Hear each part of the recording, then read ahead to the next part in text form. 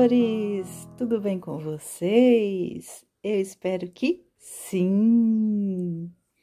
Espero e desejo que Papai do Céu esteja abençoando a todo mundo aí do outro lado desta telinha.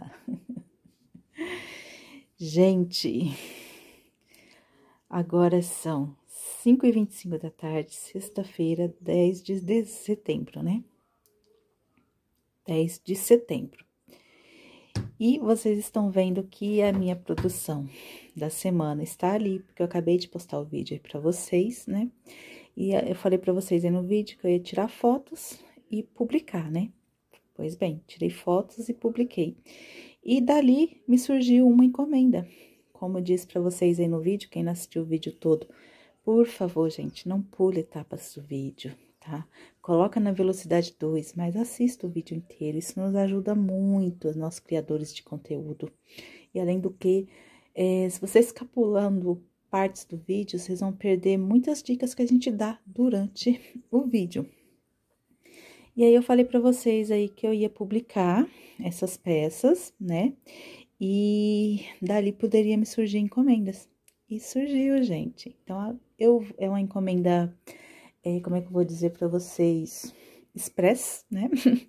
Tem que ser feita o mais rápido possível, porque é daquelas clientes que quer tudo para ontem.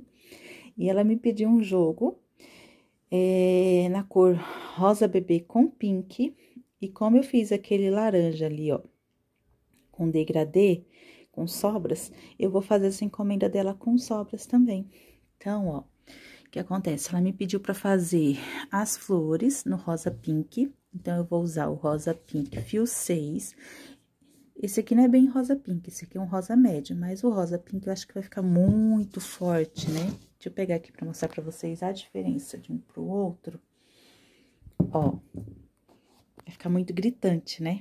Então, eu vou usar, vou ser teimosa, e vou usar esse rosa médio aqui pra fazer as flores. E como eu venho dizendo aí pra vocês, quando eu for usar é, barbante liso nas florezinhas rasteira, eu iria usar barbante mesclado para passar o verdinho em volta, né?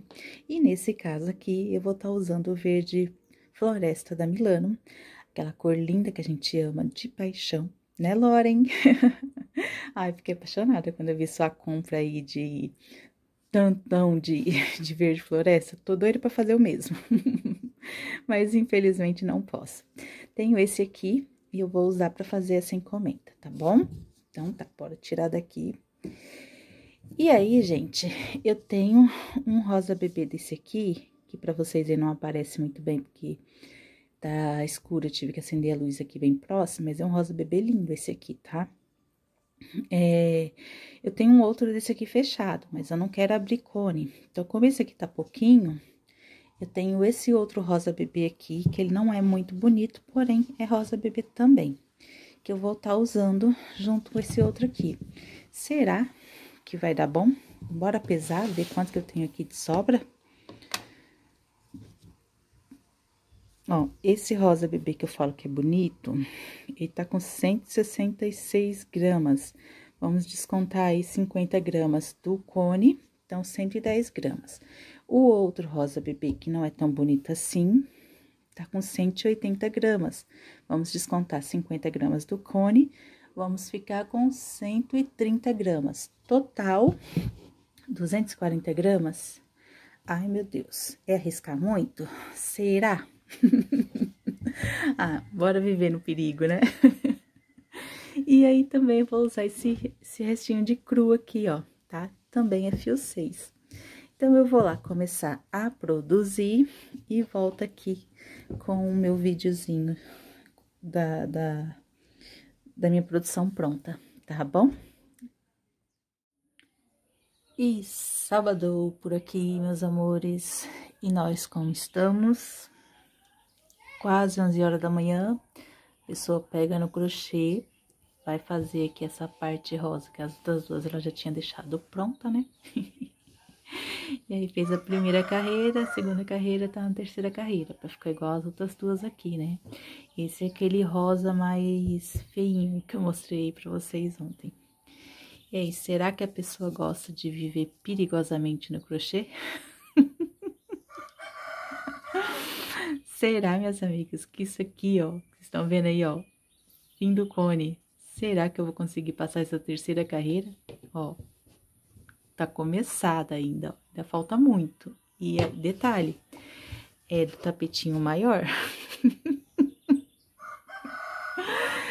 Ai, socorro. Bora ver o que, que eu faço. Voltei, meus amores. Fiz a minha mágica e consegui fazer as três carreirinhas. O que que eu fiz? Troquei a agulha 3,5 pela 3. Fica a dica aí para quem é novata e não sabe desses truques de crocheteira.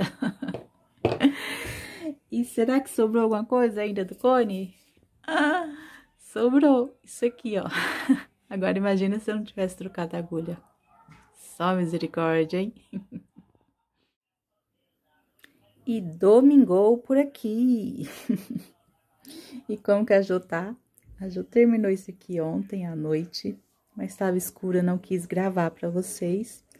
E só agora eu consegui dar uma pausinha aqui no meu domingo para vir gravar aqui para vocês, tá bom? Mostrar o joguinho pronto, o peso e falar as medidas dele, que eu já medi, tá bom, gente? Para o vídeo não ficar muito longo, para vocês não se chatearem comigo, eu vou já pesar e falar as medidas. Deixa eu dar um outro recadinho aqui para vocês. É, fica até o final desse vídeo que tem dica de vendas, tá bom? Maravilhosa essa dica de venda. Outra coisa, eu tô completando, quase completando 6K. Então, se você não é inscrito aqui nesse canal, já se inscreva aqui embaixo, deixe o seu joinha do amor, porque assim que eu completar 6K, eu venho com uma live e um sorteio de um Pix, tá bom? Para os inscritos aqui do canal. Tem que estar inscrito aqui para poder participar do sorteio, tá? Aproveita e já me segue lá no Instagram também. O link do meu Instagram tá sempre aqui embaixo, na descrição do vídeo, tá ok? Então, bora lá pesar essa lindeza, porque, gente, ficou show, ficou maravilhoso. Amei, amei, amei. A cliente também. Eu tenho que ir lá entregar pra ela agora, então, já vou pesar aqui. Bora ligar a balança. Ó, já já essa plaquinha vai embora, em nome de Jesus. Zerei a balança. Bora pôr o joguinho aqui. Deixa eu afastar o meu porta-agulha. E olha aí, gente, esse joguinho com três peças ficou pesando 730 gramas. Vou abrir agora para vocês verem que lindo. Gente, olha só que lindo!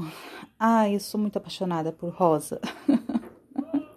Mas se for para me usar, eu não tenho coragem, não. Muito clarinho, né, gente? Mas, ó, quem é apaixonado se dá muito bem. Que olha só que perfeição. Aí, ó, fica a dica pra vocês, ó. Usa sobrinhas. Olha só que... É, como é que eu vou dizer pra vocês? Que detalhe lindo que ficou, né? Uma sobrinha de nada. Deu pra passar três carreirinhas muito forçado. Mas eu consegui passar as três carreirinhas. E olha aí, que lindo. Arrasou, né?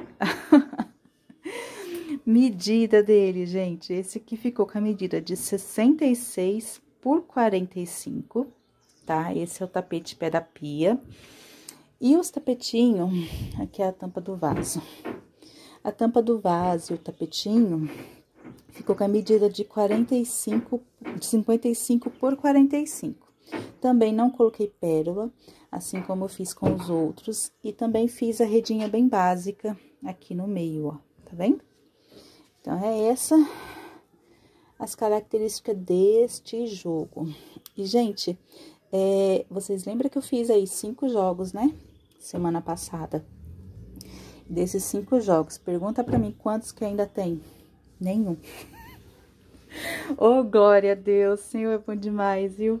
Ontem eu tava jururu, triste, cabisbaixa, chateada, porque eu publiquei no Facebook e minhas vendas, a maioria delas, praticamente 90% era através do Facebook. Mas o Facebook, ultimamente, tem me, me sacaneado, gente. Não tá apresentando as minhas publicações para as pessoas. Vou abrir só para vocês verem, tá? Não tá apresentando as minhas publicações para as pessoas. E aí, consequentemente, eu não tô conseguindo fazer vendas, né? Aí, o que eu fiz? Hashtag anota essa dica.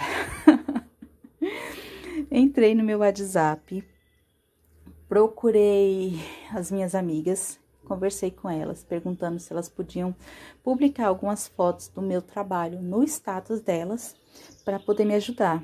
E, gente, pasme. Três delas publicaram, algumas publicaram no. outras publicou no, no Facebook e por aí foi, né? Mas três delas que publicou no WhatsApp simplesmente arrasaram. Venderam algumas peças minhas. Uma das que publicou conseguiu vender quatro jogos, quatro jogos dos cinco que eu tinha feito desse modelo aqui essa semana aí que vocês estão viram o vlog, né? A produção da semana. Os cinco, quatro, uma conseguiu vender.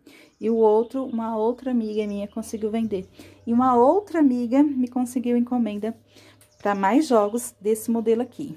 Então, segunda dica do dia. Esse modelinho Mari aqui, é, ele é econômico, gente. Vocês viram, né? Três pecinhas 730 gramas. Vamos chutar, eu vou calcular aqui e vou dar o exemplo para vocês. Pois bem, gente, ó, fiz a minha soma aqui rapidinho para vocês. Ó, o quilo do meu barbante tá 25 reais, tá? Então, 25 dividido por mil, a grama do meu barbante tá saindo 25 centavos. 25 centavos multiplicado por 730, que foi o peso total desse jogo, saiu um valor de gasto de R$ 18,25.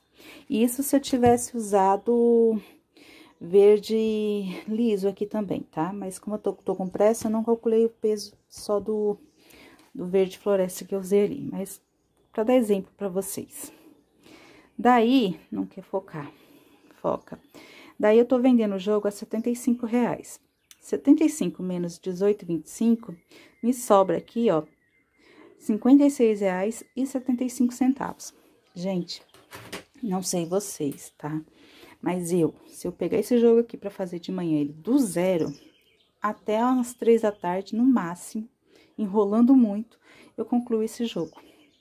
Então, pra mim, tá valendo vender por esse preço? Tá.